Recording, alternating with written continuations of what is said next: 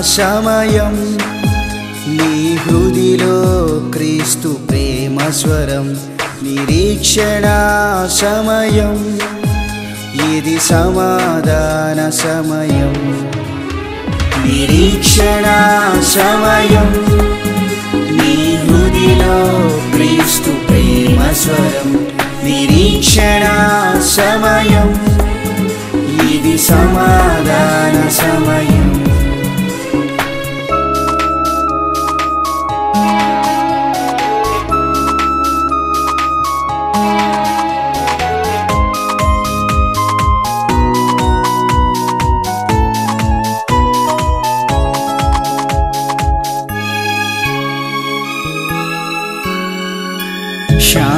సంతోషాల నిలయం విశ్వసించు వారికి క్రీస్తునాదు నిదర్శనం.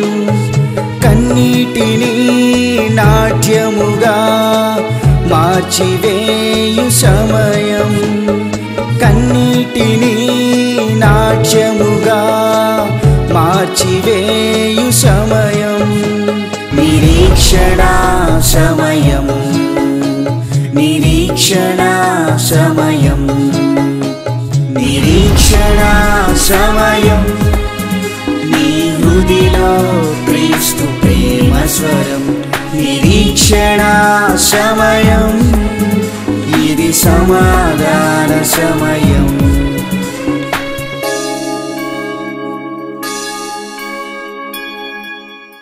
నిరీక్షణ సమయం కార్యక్రమానికి మిమ్మల్ని ప్రేమతో ఆహ్వానిస్తున్నాను మీకందరికీ నూతన సంవత్సర శుభాకాంక్షలు తెలియచేస్తూ ఉన్నాను. మీ యొక్క అనుదిన జీవితంలో ప్రభు యొక్క ఆశీస్సులు మీకు నిండుగా కలగాలని ఈ నూతన సంవత్సరం అంతా కూడాను మీరు అన్ని విషయాల్లో వర్ధిల్లుచు ప్రభువులో స్థిరంగా ముందుకు సాగిపోవాలని మనస్ఫూర్తిగా కోరుకుంటున్నాను. రెండు వేల పదిహేనవ సంవత్సరంలో జరిగినటువంటి సంఘటనలు మీ మనసులో నుంచి తొలగించుకొని ఏసువైపు వైపు చూస్తూ ఆయన ఇచ్చేటువంటి నూతన వాగ్దానాలతో మీ హృదయాన్ని తలంపులను మనసులను నింపుకోనండి. మనం ఏదైనా ఒక మంచి అందమైనటువంటి ఉద్యానవనానికి వెళ్ళామనుకోండి మన మనసు ఎంత ప్రశాంతంగా ఉంటుంది ఎంత ప్లజెంట్గా ఉంటుంది. అక్కడ ఉండేటువంటి రకరకాలైనటువంటి పుష్పాలు పచ్చదనం మన హృదయాన్ని ఇట్టే ఆకర్షిస్తుంది కదండి. వెంటనే మనం ఏం చేస్తాం? అన్నీ మర్చిపోయి మన మనసును ఆ యొక్క ఉద్యానవనంలో ఉండేటువంటి దృశ్యాలపై మన హృదయాన్ని కేంద్రీకరిస్తాం సంతోషంగా ఉంటాం. అంతేనండి జీవితం అంటే. రెండు వేల పదిహేను సంవత్సరంలో సంతరించుకున్నటువంటి కన్నీళ్ళు కష్టాలు బాధలు వ్యాధులు రోగాలు అప్పుల బాధలు మనుషులు గాయపరిచినటువంటి మాటలు అవన్నీ మర్చిపోండి. యేసుక్రీస్తు ఇచ్చేటువంటి క్షమాగుణంతో మనం ఈ రెండు వేల పదహారో సంవత్సరంలోనికి అనగా నూతన సంవత్సరంలోనికి నూతనమైన వ్యక్తులుగా ముందుకు సాగుదాం. అట్టి కృపను దేవుడు మీకు అనుగ్రహించును గాక. ఈ దినమున పరిశుద్ధుడైన పౌలు ఫిలిప్పీ సంఘానికి రాసినటువంటి పత్రిక మూడవ అధ్యాయము పన్నెండు పదమూడు వచనాలు ధ్యానం చేద్దాం. ఇదివరకే నేను గెలిచి తినని అయినను ఇదివరకే సంపూర్ణ సిద్ధి పొంది తిని అని అయినను నేను అనుకుంటలేదు కానీ నేను దేని నిమిత్తము క్రీస్తు యేసు చేత పట్టబడుతునో దానిని పట్టుకొనవలనని పరిగెత్తుచూ ఉన్నాను. సహోదరులారా నేను ఇదివరకే పట్టుకుని ఉన్నానని తలంచుకొనను. అయితే ఒకటి చేయుచున్నాను. వెనుక ఉన్నవి మరచి ముందున్న వాటి కొరకై వేగిరపడుచు. పద్నాలుగో వచనము. క్రీస్తు యేసు నందు దేవుని ఉన్నత పిలుపునకు కలుగు బహుమానమును పొందవలనని గురి వద్దకే పరిగెత్తుచు ఉన్నాను. ప్రియ దైవ జనాంగమ క్రైస్తవ జీవితం ఒక పరుగుతో పోల్చబడినట్లుగా మనం బైబిల్లో చూస్తాం. యేసుక్రీస్తునందు విశ్వాసం ఉంచిన ప్రతి వ్యక్తి కూడాను ఒక పరుగు పందెములో దేవుని యొక్క కృపను బట్టి చేర్చబడ్డాడు. అతడు దేనికోసం పరిగెత్తాలో తాను చేరవలసినటువంటి గమ్యం ఏంటో బైబుల్ సెలవిస్తూ ఉన్నది. తాను పరిగెత్తవలసినది దేవుడు ఇచ్చేటువంటి బహుమానము కొరకని తాను పరిగెత్తవలసినటువంటి గమ్యము యేసుక్రీస్తు అని బైబిల్ చక్కగా వర్ణిస్తూ ఉన్నది.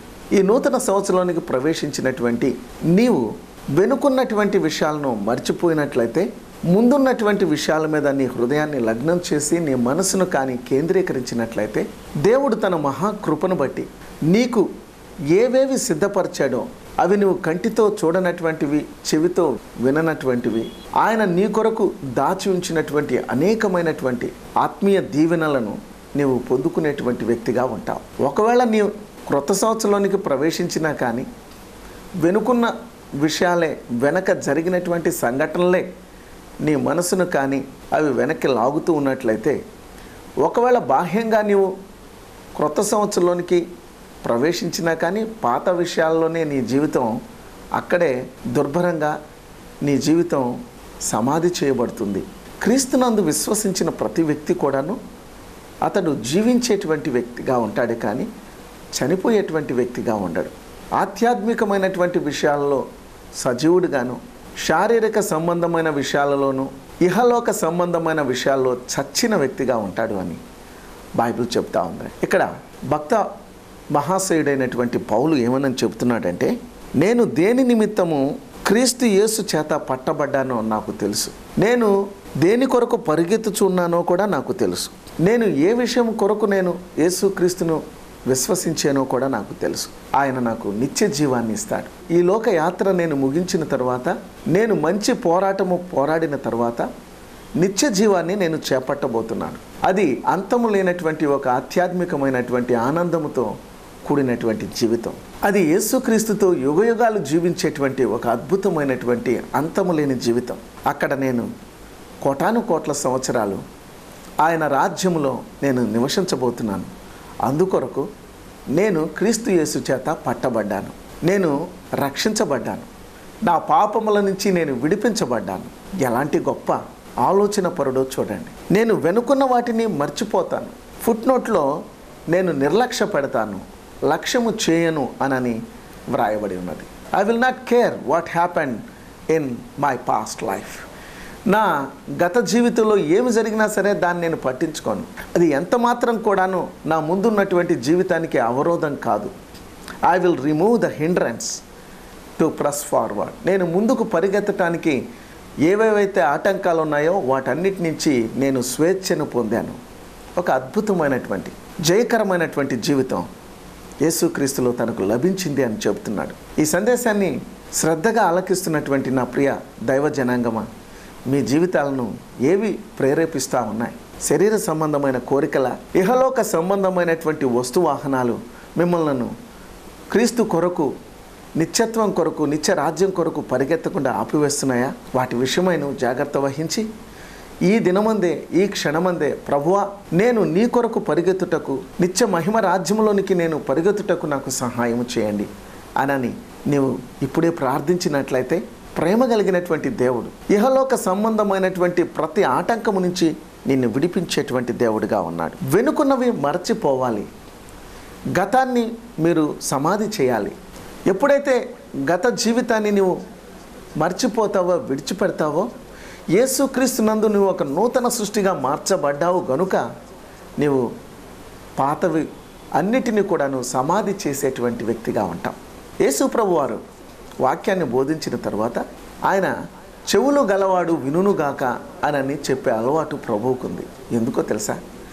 ఎవరైతే దేవుని యొక్క వాక్యమును శ్రద్ధగా అంతరంగ హృదయంలో చెవులతో వింటారో బాహ్యంగా ఉండే చెవులతో విని అంతరంగంలో ఉన్నటువంటి ఆ హృదయంలో ఆ వాక్యాన్ని ఎవరైతే భద్రంగా కాపాడుకొని ఆ వాక్యానుసారంగా జీవిస్తారో తమ పాపాల విషయమై పశ్చాత్తాపడి వాటిని ఒప్పుకొని విడిచిపెడతారో వారి జీవితం ఫలభరితంగా ఉంటుంది అనని ప్రభువే చెప్పాడు. కొన్ని విత్తనాలు త్రోవ పక్కబడ్డాయట. విత్తనం అంటే దేవుని యొక్క వాక్యము. త్రోవ అంటే కఠినపరచబడినటువంటి హృదయానికి సాదృశ్యముగా ఉన్నది. అయితే ఆ విత్తనము వలన ఆ నేల బాగా కఠినమైపోయింది కనుక ఆ విత్తనం ఫలించలేదట. రాత్రి నెలలో పడ్డ విత్తనాలు కూడా వ్యర్థమైపోయాయట. ఎందుకో తెలుసా? పైకి కొంత మన్నున్నా కానీ ఆ విత్తనం పడిన తర్వాత కాస్తంత వేర్లు కిందకి వచ్చిన తర్వాత కింద రాళ్ళు ఉన్నాయి కనుక ఆ విత్తనం కూడాను మాడి మసైపోయిందట. ముళ్ళ పొదల్లో కొన్ని విత్తనాలు పడ్డాయట. వేరైతే కిందకు వెళ్ళింది కానీ ఫలాలు రావటానికి ఐహిక విచారములు ధనమోసం అనేటువంటి ముళ్ళు ఆ వాక్యమును పూర్తిగా నాశనం చేశాయి. మానవుని యొక్క హృదయంలో ఎన్ని ఆటంకాలు ఉన్నాయో చూడండి. వాక్యం వినేవారి సంఖ్య ఎంత హెచ్చుగా ఉన్నా సరే ఆ ఆ వాక్యానుసారంగా జీవించి ఆ వాక్యమును తమ జీవితాల్లో భద్రపరుచుకొని ఈ లోకంలో ఎదురయ్యేటువంటి ప్రతి సమస్యను శోధనను ప్రార్థనతో విశ్వాసముతో వాటన్నిటిని కూడాను జయించి పరలోక రాజ్యం చేరేవారి సంఖ్య చాలా తక్కువగా ఉంటుందనేటువంటి నగ్న సత్యం బైబిల్ గ్రంథం గంటాపదంగా మనకి ఘోషించి చెబుతా ఉన్నది. కొన్ని విత్తనాలు మాత్రం మంచి నెలలో పడ్డాయటండి. ఆ మంచి నెలలో పడ్డటువంటి విత్తనాలు ఏపుగా ఫలించాయట. అవి కూడాను మూడు ర్యాంక్స్లో అవి ఫలించినట్లుగా ప్రభువారు చెప్పారు. ముప్పదంతలు నూరంతలు అరవదంతలుగా ఫలించాయట. ఎంత సంతోషకరమైన విషయమో చూడండి. దేవుని యొక్క వాక్యాన్ని వినటం మాత్రమే కాకుండా దానిని అవలంబించేటువంటి వారు. ఎన్ని శ్రమలైనా ఎన్ని శోధనలైనా ఎన్ని హింసలైనా ఎన్ని కష్టాలైనా ఆ వాక్యాన్ని వారి జీవితానికి అన్వయించుకుంటూ యోగ్యమైనటువంటి జీవితం విశ్వాస జీవితం ఒక మంచి ఆత్మీయ జీవితాన్ని కలిగి యేసుక్రీస్తు మీద వారి దృష్టిని సారించి ఆ పరలోక రాజ్యములో ప్రవేశించాలనేటువంటి ఒక దృఢమైనటువంటి తీర్మానంతో ముందుకు సాగేవారే ఆ నిత్య రాజ్యాన్ని స్వతంత్రించుకునేవారిగా ఉంటారు అని బైబిల్ చెప్తా ఉంది. ప్రియ స్నేహితుడా మరి నీ జీవితం ఎలా ఉన్నది? నీవు దేని కొరకై పరిగెత్తుచు ఉన్నావు? యేసుక్రీస్తు ఆయన ఇచ్చేటువంటి నిత్య జీవము అనేటువంటి బహుమానము అందరికీ ఇస్తాడు. రోమాపత్రిక ఆరో అధ్యాయము చివరి వచనంలో ఏలయనగా పాపము వలన వచ్చు జీతము మరణము? అయితే ప్రభు అయిన యేసుక్రీస్తునందు నిత్య జీవము అనని బైబిల్ చెప్తా ఉంది. పాపం కొరకు పరిగెత్తేటువంటి వారు పొందేటువంటి బహుమానము ఏంటంటే మరణము అనగా నిత్యమైనటువంటి నరకాగ్ని అందులోకి వెళ్ళినటువంటి మానవులు ఇంతవరకు ఎవరు కూడాను బయటికి రాలేదు. అక్కడ అగ్ని ఆరదు పురుగు చావదు. వారు ఈ లోకంలో జీవించినంత కాలం వారి శరీరాన్ని ఆనందింపచేసే విషయాల మీదే వారి జీవితం అంతా ఖర్చు చేశారు. కానీ వారిలో నిగూఢమైనటువంటి దేవుని ఊపిరైనటువంటి ఆత్మను సంతోషపెట్టుటకు కానీ ఆ ఆత్మకు కావలసినటువంటి దేవుని యొక్క వాక్యమైనటువంటి ఆహారమును అందించటంలో కానీ వారు ఏమాత్రము శ్రద్ధ చూపలేదు. కనుక వారు చేసినటువంటి కార్యములకు తగిన ఫలమైనటువంటి నిత్య నరకాగ్నిలో వారు యుగయుగాలుగా వెతలు చెందుతూ ఉంటారు. ఇక ముందు కూడాను చెందుతూనే ఉంటారు. అగ్ని ఆరదు పురుగు చావదు. అయితే ఒక మంచి శుభవార్త ఏంటంటే యేసుక్రీస్తునందు ఎవరైతే విశ్వాసం ఉంచారో వారికి నిత్య జీవం కలుగుతుంది అనని వాక్యంలో వ్రాయబడి ఉన్నది. యేసుక్రీస్తు అలాంటి వ్యక్తులు ఎవరైతే పాపమునకు బానిసలైపోయి ఈ లోకంలో ఆ పాప జీవితాన్ని నుంచి విడుదల పొందాలనని యేసుక్రీస్తు దగ్గరకు వస్తారు. వారందరికీ కూడాను పాప క్షమాపణనిచ్చి వారి ఆత్మలకు నిత్య జీవాన్ని ప్రసాదించి వారికి నిత్య జీవము యేసుక్రీస్తునందు ఇటర్నల్ లైఫ్ దేవుడు వారికి ప్రసాదిస్తాడు. అది వారు చేసినటువంటి కార్యాల మీద ఆధారపడి కాని కానీ వారి ఇహలోక సంబంధంగా చేసినటువంటి దాన ధర్మాలను బట్టి కాదు కానీ కేవలం వాటిని మాత్రమే బేస్ చేసుకొని కాదు కానీ వారు యేసుక్రీస్తు శిలువ మీద చేసినటువంటి ఆ గొప్ప కార్యమునందు విశ్వాసం ఉంచి పశ్చాత్తాపడ్డారు కనుక వారికి నిత్య జీవము అనేటువంటి ఈ బహుమానము పరలోకంలో దొరుకుతుంది. అట్టి నిత్య జీవం అనేటువంటి ఈ గొప్ప బహుమానాన్ని పొందటం కోసం నీవు ఈ నూతన సంవత్సరంలో యేసుక్రీస్తు దగ్గరకు వస్తావా? వెనుకున్న జీవితాన్ని మర్చిపోతావా? యేసు ప్రభు ఇచ్చేటువంటి ఒక నూతన జీవితాన్ని నీవు పొందుకోవటానికి ఇష్టపడుతున్నావా? ఇక్కడ పౌలు భక్తుడు ఏమంటున్నాడంటే నేను వెనుకున్న వాటిని మర్చిపోతాను ముందున్న వాటి కొరకై నేను వేగురు పడతాను. యేసుక్రీస్తు నాకు ఇచ్చేటువంటి ఆ ఉన్నతమైనటువంటి బహుమానం కొరకు నేను పరిగెత్తుతూ ఉన్నాను అన్నాడు. పందిరంగంలో పరిగెత్తేటువంటి వారికి first prize second prize third prize ఉంటుంది కానీ ఇక అంతకు మించి మిగిలిన వారికి అందరూ ఓడిపోయిన వారి లిస్టులో ఉంటారండి. వారికి ఏ బహుమానాలు ఉండరు. కానీ వాళ్ళు రన్నింగ్ రేస్లో ఉంటారు. అయితే బైబిల్ గ్రంథం సెలవిచ్చేటువంటి ఒక అద్భుతమైన సత్యం ఏంటో తెలుసా అండి? యేసుక్రీస్తునందు విశ్వాసం ఉంచి ఈ లోకంలో ఎవరైతే పరిశుద్ధంగా నీతిగా యథార్థంగా జీవిస్తారో పాపమునకు మరలా బానిసలు కాకుండా క్రీస్తు యేసు ఇచ్చేటువంటి ఆ నూతన జీవాన్ని నూతన జీవితాన్ని పొందుకొని ఈ లోకంలో ప్రభు కొరకు సాక్షులుగా జీవిస్తారో వారందరికీ అనగా ఆయన నామమందు విశ్వాసం ఉంచిన వారందరికీ ఆ పరలోక రాజ్యం అనేటువంటి గొప్ప బహుమానాన్ని వారు పొందుతారు. అక్కడ నిత్య జీవాన్ని కలిగి వారు క్రీస్తుతో సహవాసం కలిగి జీవించేవారిగా ఉంటారు. చూసారండి ఈ లోక సంబంధమైన పరుగుకు ఆధ్యాత్మికమైనటువంటి విశ్వాసపు పరుగుకు ఎంత గొప్ప తేడా ఉన్నదో చూడండి. ఈ లోకం కోసం పరిగెత్తినటువంటి వారికి నిరాశ నిస్పృహ తప్ప ఏమీ వాళ్ళకి ఫలితంగా దొరకదు. కానీ క్రీస్తు కొరకు ఈ లోకంలో వెనుకున్న వాటిని మరిచిపోయి నిందలైన అవమానాలైన క్రీస్తు కొరకు సాక్షులుగా జీవించాలి అనేటువంటి ఆసక్తి కలిగినటువంటి వారికి పరిశుద్ధాత్మ దేవుడు వారికి సహాయం చేస్తాడు. కాబట్టి వారందరూ కూడాను నిత్య జీవాన్ని చేపట్టబోతున్నారు. ఈరోజున వాక్యం వింటున్న నా ప్రియమైన సహోదరి సహోదరులారా ఏ వ్యక్తి కూడాను వెనుకున్న జీవితాన్ని ఎవరైతే వారు లక్ష్యం చేస్తారో వారి జీవితంలో వారు ముందుకు సాగలేరు. యేసు ప్రభు వారు లూకాసు వార్త తొమ్మిదో అధ్యాయము అరవై రెండవ వచనము. యేసు నాగటి మీద చేయి పెట్టి వెనక తట్టు చూచువాడెవడును? దేవుని రాజ్యమునకు పాత్రుడు కాడని వానితో చెప్పాను. నాగటి మీద చేయి పెట్టి వెనక తట్టు చూచువాడు ఎవడును? దేవుని రాజ్యమునకు. He is not worthy to enter into the kingdom of heaven పరలోక రాజ్యమునకు పాతుడు కాడని వానితో చెప్పాడు. యేసు ప్రభు సత్యాన్ని చెప్పే దేవుడు. ఆయన ఎప్పుడు మనుషులను మభ్యపరచలేదు మోసపుచ్చలేదు. పై పై మెరుగులను చూసి వాళ్ళని ఆయన ఏదో గొప్పగా చెప్పలేదు కానీ వారిని ప్రేమించాడు అని బైబిల్ చెప్తా ఉంది. యేసు ప్రభును నీవు కావాలి అని అనుకుంటే ఆ పరలోక రాజ్యం నిత్య జీవం చేపట్టాలి అనుకుంటే ఆ ప్రభు చెబుతున్నాడు. నాగటి మీద చేయి వేసి వెనక తట్టు చూసేటువంటి వాడు నా రాజ్యానికి పోతుడు కాడు అన్నాడండి. బైబిల్లో ఉన్నటువంటి సత్యాన్ని యాజ్ ఇట్ ఈస్గా మనం హృదయంలోనికి స్వీకరించాలి. దానికి ఏవో కొన్ని కల్పనా కథలు కలిపి ఏదో మనకిష్టమైనట్లుగా దాన్ని అన్వయించుకొని ఈ లోకంలో ఒక అర్థం లేనటువంటి జీవితాన్ని జీవించి చివరికి నిత్యత్వాన్ని పోగొట్టుకొని నిత్య జీవాన్ని పోగొట్టుకోవటం ఎంతో దుర్భరమైన విషయం.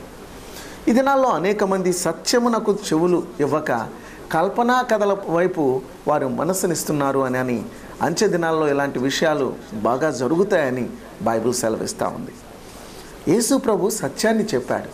మనుషులను పరలోక రాజ్యం వైపు ఆయన తన దృష్టిని కేంద్రీకరించడం కోసం వారి యొక్క ఆత్మల రక్షణ కొరకు మారు మనసు కోసం ఆయన చేయని ప్రయత్నం లేదండి.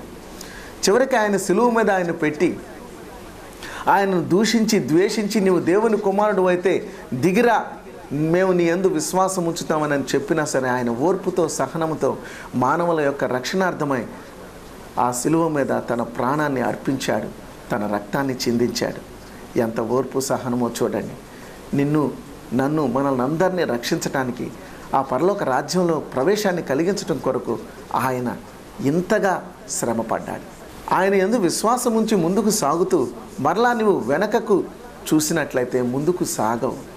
లోకం వైపు చూసినా ఈ లోకంలో ఉన్న ఏ విషయాలు నీ జీవితాన్ని ఆపివేసినా సరే నీ పరుగు ఆగిపోతుంది అనేటువంటి ఒక హెచ్చరికను మనం ఇక్కడ పౌలు భక్తుడు జారీ చేస్తున్నాడు. ఇది కేవలం ఫిలిప్పీ సంఘానికి మాత్రమే కాదండి ఈ వాక్యాన్ని వింటున్నటువంటి ఈ దినాల్లో జీవిస్తున్నటువంటి మానవులందరికీ యేసుక్రీస్తునందు విశ్వాసం ఉంచినటువంటి వారికి విశ్వాసం ఉంచినటువంటి వారికి ఒక పిలుపు. మీరు క్రీస్తునందు విశ్వాసం ఉంచితేనే ఆ నిత్య రాజ్యం విశ్వాసం ఉంచినటువంటి వారికి ఈ పరుగులో ముందుకు సాగాలి అని అని. ఇహలోక సంబంధమైన ఏ విషయాలు మిమ్మల్ని ఆధ్యాత్మికంగా వెనకంజ వేయటానికి అవి ప్రభావితం చేయకూడదనేటువంటి ఒక అద్భుతమైన సత్యాన్ని ఇక్కడ మనం పౌలు భక్తుల ద్వారా వింటూ ఉన్నాం. అలా పరిగెత్తినటువంటి వారికి ఏమి దొరుకుతుంది అంటే పద్నాలుగో వచనంలో క్రీస్తు యేసునందు దేవుని ఉన్నతమైన పిలుపునకు కలుగు బహుమానము నాకు దొరుకుతుంది. వాట్ ఏ గ్రేట్ కాన్ఫిడెన్స్ ఎంత గొప్ప ఉన్నతమైనటువంటి నిరీక్షణ కలిగి ఉన్నాడు. ఈ రెండు వేల పదహారో సంవత్సరంలోనికి ప్రవేశించిన దైవజనాంగమ మీ పరుగు క్రీస్తు కొరకేనా?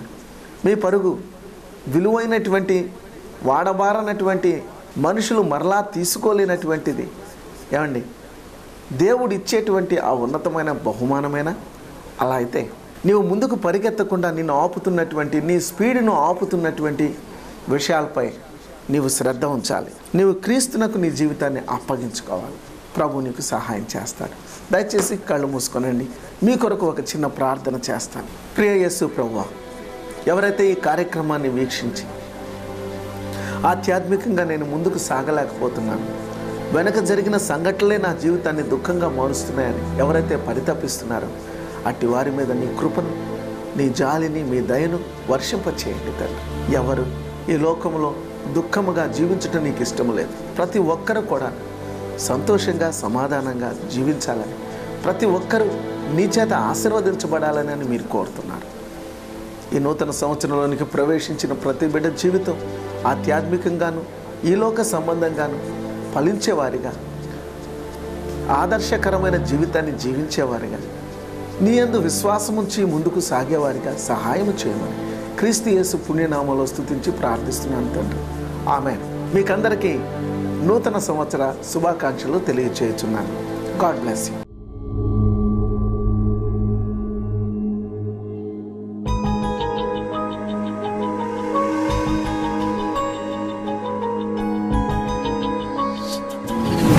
అది పంతొమ్మిది వందల తొంభై ఆరు జూన్ పదిహేను. గుంటూరు పట్టణంలోని నెహ్రూ నగర్ నాలుగవ లైను ఒక ఇంటిలో ప్రారంభమైనది ఈ పరిచర్య. ఐదుగురు వ్యక్తులతో సువార్తను పంచుకుంటూ దైవ సేవకులు సాల్మన్ రెడ్డి గారు ప్రయాసపడుతూ ఉన్నప్పుడు దేవుడు పరిచర్యను క్రమక్రమముగా ఆశీర్వదిస్తూ నెహ్రూ నగర్ ఏడవ లైనులోని ఆక్స్ఫర్డ్ పబ్లిక్ స్కూల్కు మార్చబడినది. తదుపరి ఏడవ లైనులోని ఒక గృహముపై షెడ్లో ఈ యొక్క ఆరాధన కొనసాగినది. కొంతమంది అన్యజనులు రక్షణ పొంది సంఘములో చేర్చబడిరి.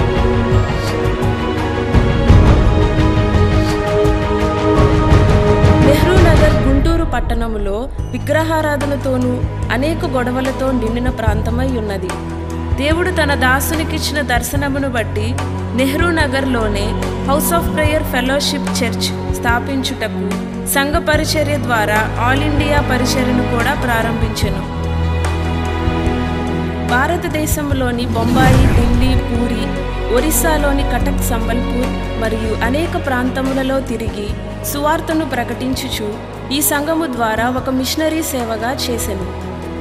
రెండు వేల తొమ్మిది కల్లా షెడ్ తీసివేసి స్లాబ్లో పద్నాలుగో వార్షికోత్సవాన్ని జరిపించుకోవడానికి దేవుడు కృప చూపినాడు.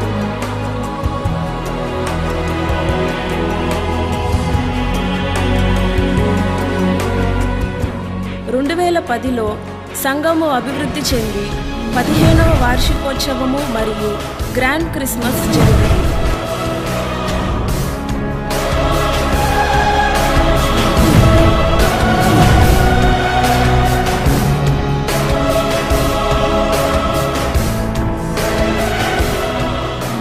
రెండు వేల పదకొండవ సంవత్సరం దేవుడు తన దాసుడు సాల్మన్ రెడ్డి గారి ద్వారా సాల్మన్ ఇవాంజలికల్ మిషన్ను ప్రారంభించారు. ఈ మిషన్ ద్వారా మరిన్ని కార్యక్రమాలను ప్రారంభించుటకు దేవుడు కృప చూపాడు.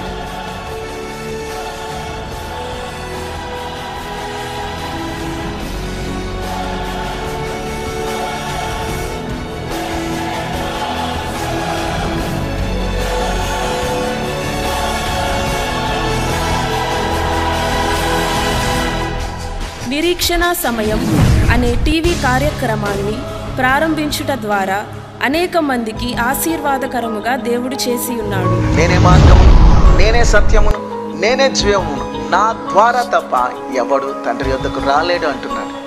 యేసుక్రీస్తు నేను ప్రేమిస్తున్నటువంటి దేవుడు. యేసుని నీవు నమ్ముకోవటం నీకు క్షేమం. నీవు శాపం క్రింద మ్రగ్గిపోతూ ఉన్నావు. లేకపోతే సైతాన్ని కాడి క్రింద నలిగిపోతూ ఉన్నావు. ఆనందకరమైనటువంటి శుభవార్త. జీవితం అపవిత్రంగా ఉందని చెప్పి నా జీవితం యొక్క ఎన్నటికి మారదనని నా హృదయం ఎన్నటికీ మారదు ఎవరు నా జీవితాన్ని మార్చలేరని చెప్పి ఒక నిరాశకు తావిచ్చి కృంగిపోయి ఉన్నావా? లేదు నా ప్రియ సహోదరుడు. ఇప్పుడే నీ జీవితాన్ని యేసుక్రీస్తుకు అప్పగించుకున్నట్లయితే ఇప్పుడే నీ జీవితంలో ఆయన ఒక కార్యాన్ని చేస్తాడు. నిరీక్షణ కిరణం ద్విమాస పత్రిక అనేక కుటుంబాలకు ఆశీర్వాదకరముగా ఉన్నది. మరియు సాహిత్య పరిచర్యను ప్రారంభించి దైవజనులు స్వయంగా రచించిన పుస్తకములను ఎంతో మందికి దీవెనకరముగా ప్రభువు చేసి ఉన్నాడు. అపోస్తుల కార్యములు ఇరవై రెండు పదిహేను ప్రకారము. నీవు కన్నవాటిని విన్నవాటిని గూర్చి సకల జనుల ఎదుట నీవు నాకు సాక్షివై ఉందువు అనే వాగ్దానం ఇచ్చిన దేవుడు దైవజనుల సాల్మన్ రెడ్డి గారిని అనేక స్థలములలో సువార్త కూటాలలో వాక్యమును బోధించుటకు రక్షణ సాక్ష్యమును పంచుకొనుటకు ప్రభువు సహాయము చేసెను. రెండు వేల పద్నాలుగు నాటికి దేవుడు ఈ పరిచర్యను ఆశీర్వదించి అనేక మంది క్రొత్త కుటుంబాలను సంఘములో చేర్చను. రెండు వేల పద్నాలుగవ సంవత్సరంలో పరవశమే అనే గ్రాండ్ క్రిస్మస్ను జరిపించుకొనుటకు దేవుడు సహాయము చేశాను ఏ మానవ శక్తితో గాని అత్యధిక ధనవంతులతో గాని విదేశీ సంస్థల సహకారంతో కాక కేవలము విశ్వాసముతోనే దేవుడు ఇచ్చిన వాగ్దానములతో కొనసాగుచున్నది. నేడు వార్షికోత్సవము జరుపుకుంటున్న house of prayer fellowship church సంఘ సభ్యులైన మనమందరము ఆ దేవుని స్తుతించుదాము. ఈ పరిచర్య కొరకు ప్రార్థించండి పాల్గొనండి మేలులను పొందుకొనండి. సమస్త మహిమ ఆయనకే చెల్లును. మీ ఆధ్యాత్మిక జీవితములను బలపరచుటకు ఎదుగుదలకు దైవజనులు స్వయంగా రచించిన వివిధ పుస్తకములు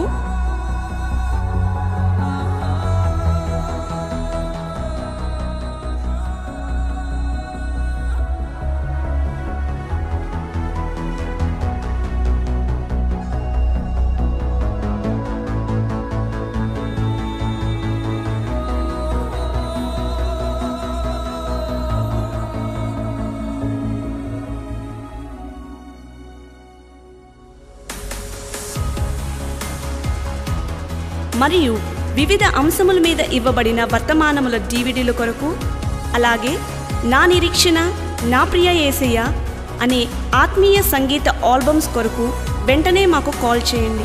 మా phone number nine three nine four seven eight double two three seven.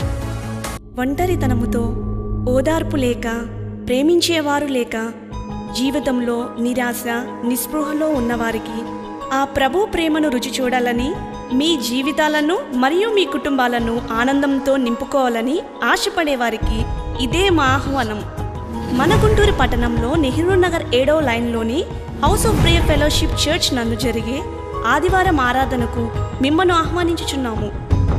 ఆదివారం ఆరాధన సమయం ఉదయం పది గంటల ముప్పై నిమిషములకు దైవజనులు సోల్మన్ రెడ్డి గారు వాక్యమును అందించి మీ అన్ని అవసరతల కొరకు ప్రార్థిస్తారు.